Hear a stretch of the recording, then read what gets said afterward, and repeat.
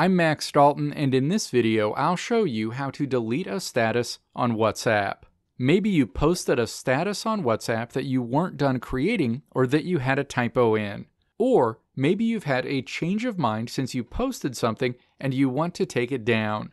No matter the reason, WhatsApp makes it easy to delete a WhatsApp status. And it's important to note that when you remove a WhatsApp status, that status is no longer visible to your contacts. Additionally, your contacts will not receive a notification that you've deleted a status. Now let's walk through the steps to delete a WhatsApp status. Step 1. Open WhatsApp and then tap Updates in the menu along the bottom of your WhatsApp home screen. The update screen is shown. Step 2. Find the Status section and then tap My Status in that section. The My Status screen is displayed and a list of your WhatsApp statuses will be listed.